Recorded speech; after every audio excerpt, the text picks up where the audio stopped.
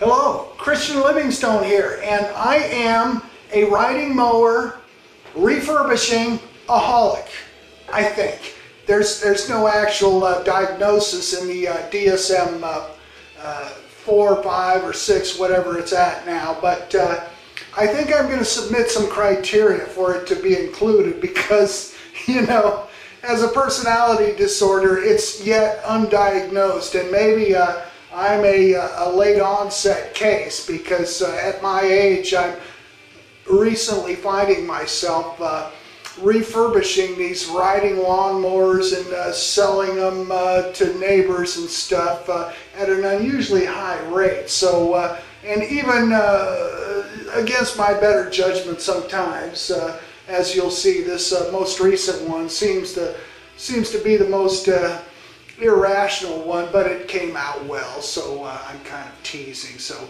I'll get on with it and show you this this latest one it's not for me and it's not to make money and uh, you know I picked it up uh, from a neighbor down the street uh, for 150 bucks it uh, you know it wasn't a bargain really it, it wasn't bad I, am I'm not loving it or hating it but uh, another neighbor uh, needs a mower and I recommended that he go down and take a look at it nah he he didn't have you know the cash on hand and I said you know uh, I might just buy it and spiff it up, and if you want to buy it from me uh, later for what I got into it, uh, I'll sell it to you. Or there's another gal uh, around the corner who uh, either wants me to mow or maybe help her find a mower.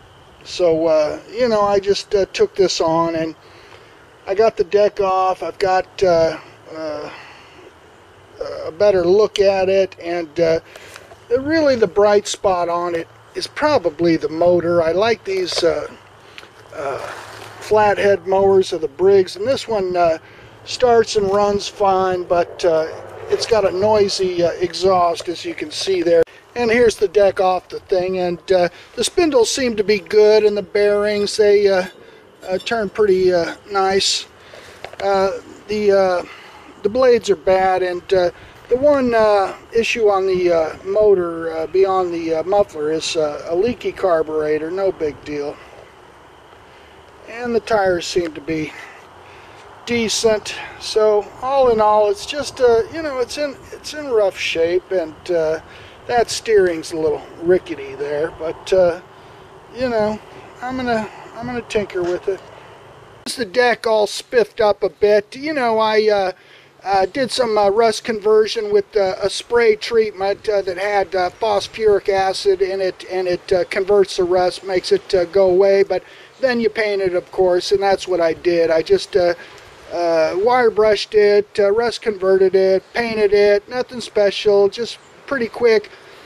The spindles that were uh, on this were good. I mean, they, they rotated and uh, uh, were pretty smooth and free, but you know, I got a little carried away and I decided to take the spindles off for the, the painting process. And, you know, I, I anticipated that it would probably happen, but I, I was kind of playing the gambler, and uh, so I, I, started taking the uh, bolts out, and of course the heads uh, broke off, they uh, snapped off, and uh, you know I knew it was coming, and uh, you know it, once they do, it's it's there's no sense drilling those out because I got two new spindles, the bearings and everything, brand new, 32 bucks online, free shipping, no sales tax extorted by the state uh, that way. And, you know, most everything I buy on, on this kind of stuff, I like to do it online. So, you know, those uh, businesses aren't uh, coerced into being, uh, you know, unpaid tax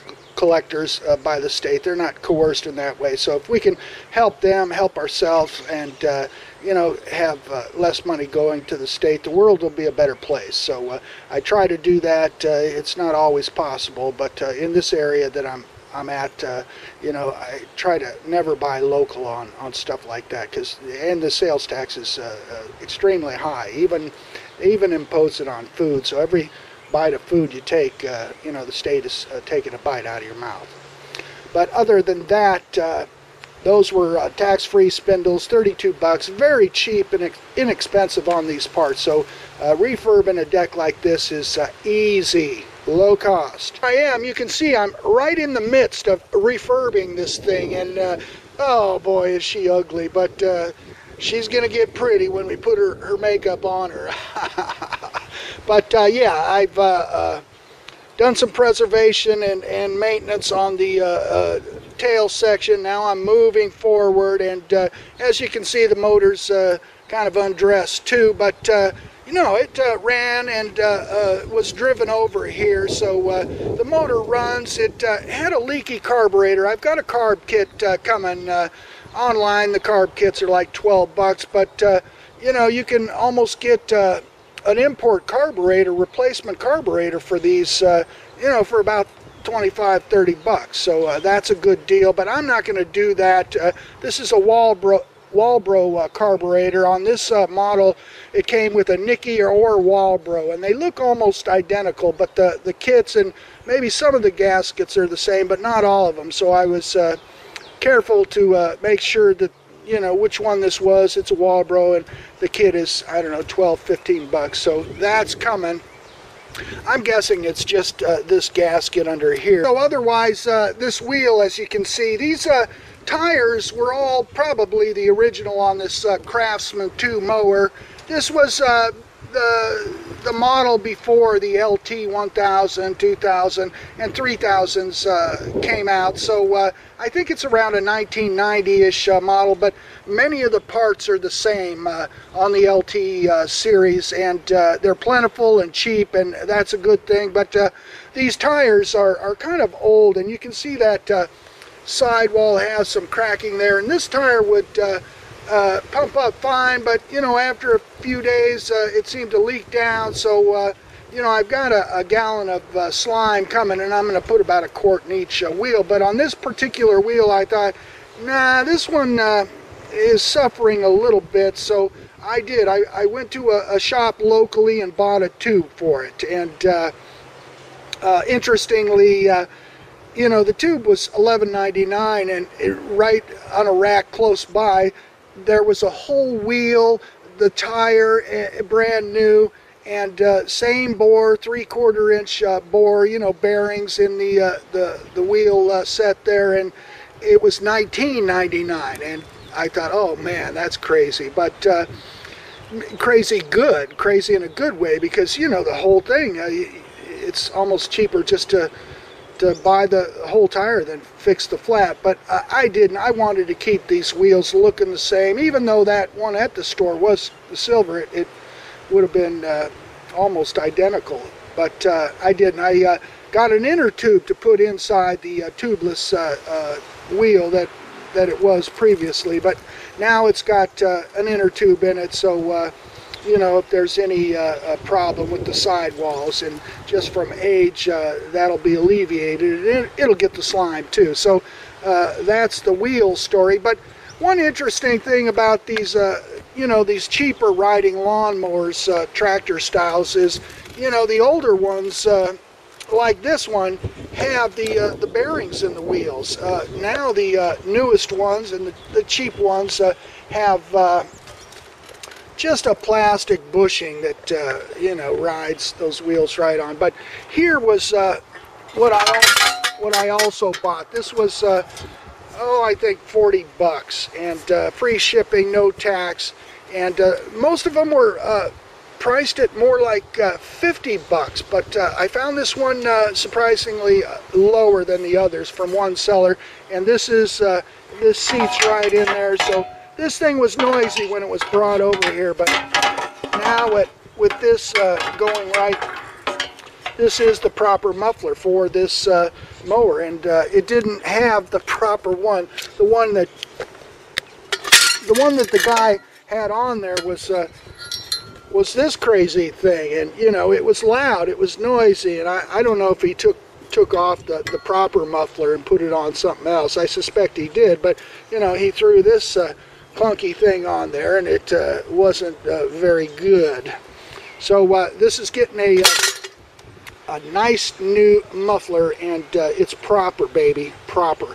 Other than that, uh, the mower and what I'd recommend, I'm just showing you what, what I, I've done and you know undoubtedly you know, people out there who buy a, a used mower uh, may want to know what, uh, you know, are the typical things to do. So you got the carburetor, you got the exhaust, and you got the chassis with wheels and tires and stuff. And uh, otherwise, uh, uh, I took the uh, the head off and, and degunked it of carbon and you know the valve seats and valves seem to be, be fine so that's just a, a typical maintenance thing to do if you're doing a, uh, a refurb on a, a mower and, and, the motor itself. Uh, just uh, pop off the uh, head. You'll probably have to buy a new head gasket because it'll fall apart when you do that. But uh, get one of those too and you know just degunk this thing and, and inspect and make sure you know everything's proper.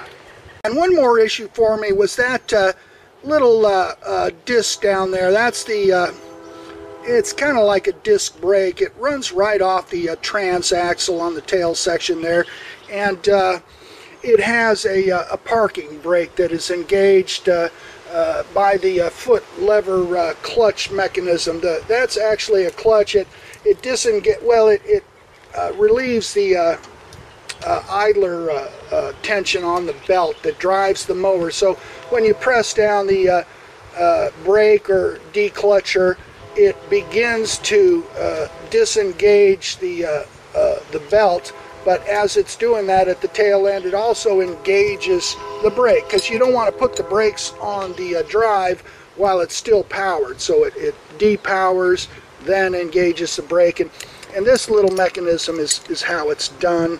And uh, this thing uh, was froze, and so I had to unstick it with some penetrating oil and uh, it takes a little puck, a little uh, brake pad puck that goes in there. So I've ordered one of those uh, off online, and uh, it'll be here. It was about seven bucks. So uh, you know, it's got two little uh, piston-like things, and this has a, a, bend in it, so it's like a little cam action, and that's all it is. But these things undoubtedly stuck.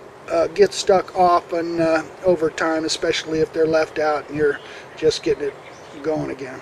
Okay. Otherwise, for the cosmetics, you can see I'm uh, spiffing it up with a little bit of silver paint on all the uh, body stuff. Uh, it was already a gray, and I had some silver uh, spray uh, uh, cans, so I decided just to use it on this. you know, the paint wasn't that bad, but still, it's I don't like all those logos and stuff. This is this is probably going to go to a, a, a neighbor, and uh, he could probably care less about the paint treatment. But uh, you know, I've got it uh, the paint to spare, so I'm I'm going to use it and spiff it up anyway.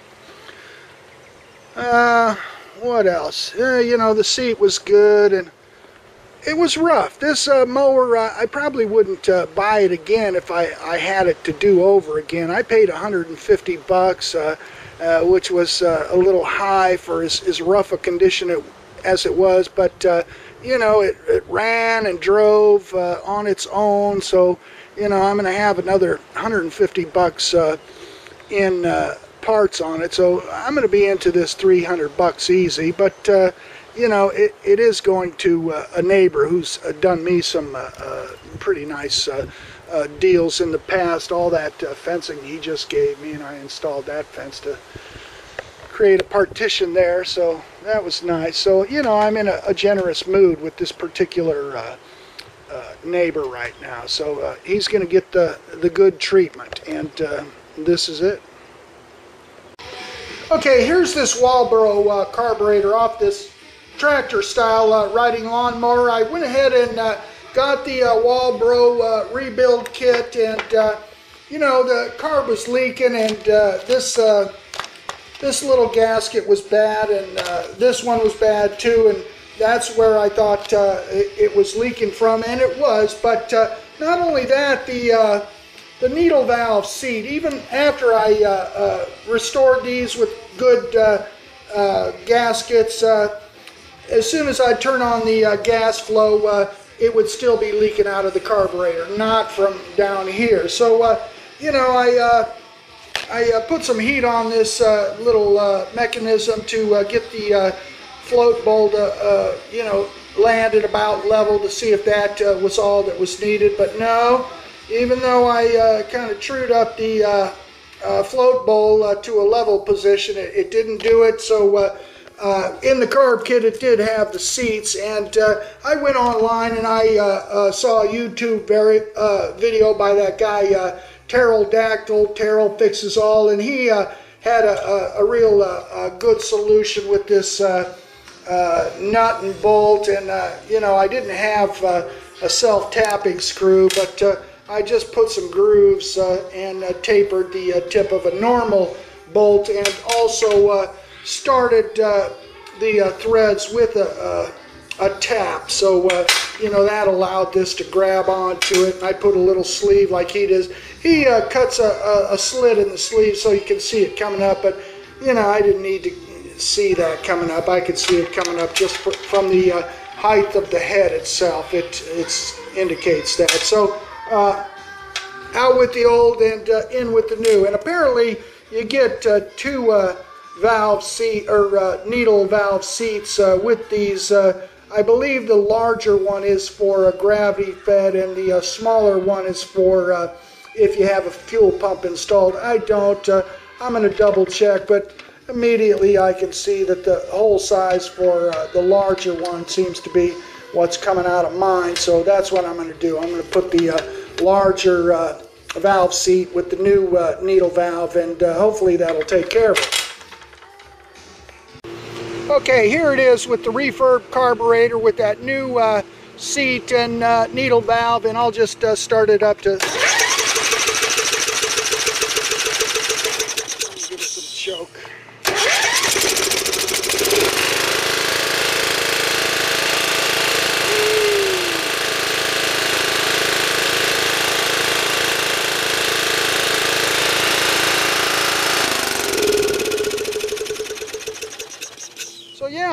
Okay, here it is, the finished product. And uh, I'm going to deliver it to the uh, customer today or the neighbor today. And, uh, you know, there's uh, there was a lot of uh, effort uh, that went into this. and, you know, I'm not going to make a dime off of this, but the neighbor's going to have a mower, a riding mower. And it's a good thing because he's not a young guy and he has a push mower and not a lot of money. So, uh, he's going to get this. Uh, like I said, he did me a solid and uh, gave me uh, uh, that uh, chain link stuff so I could put up a little fence there. And so I spiffed this up pretty nice, I think. it was pretty rough to begin with. And I'll just show you underneath.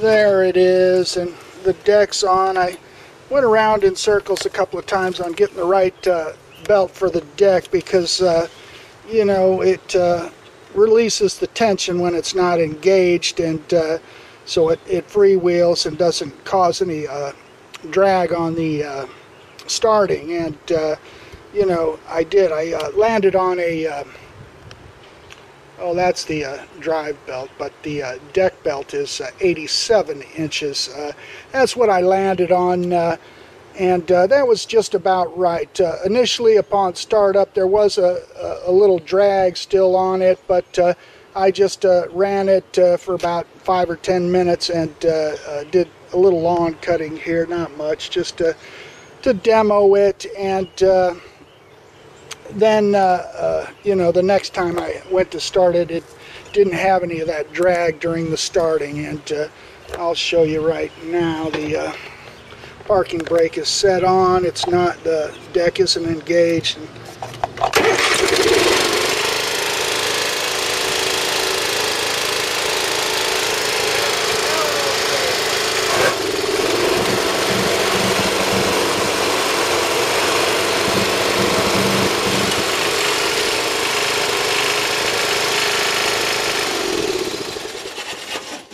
And you can see or hear that the uh, you know the engagement uh, doesn't begin until uh, uh, the lever is thrown. So I'm not picking up any drag. The belt will stretch out a little more so it's just about perfect uh, 87 inches I believe uh, so yeah it's it's all good. And one last detail I told the neighbor that to bring it back is this bushing right here. There is a, a an eight or nine dollar bushing that I bought that uh, I haven't received yet in the mail, but uh, it'll snug up this steering and make it a little smoother. But honestly, uh, you don't notice it when you're rolling around. This thing steers just fine. But uh, I'm going to put put that cheapo uh, uh, bushing in there, and uh, that'll do it. So that is that's just another little lawnmower project. You know,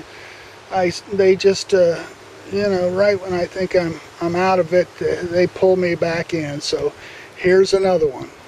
Bucks uh, within two months maybe. With is that Oh yeah. Okay. I can do it sooner or than, sooner? in a month. I've got some more goats I'm gonna sell. now. Okay, okay, sounds good, Phil. But if you if you hate it, bring it back. I'll Okay. take it back.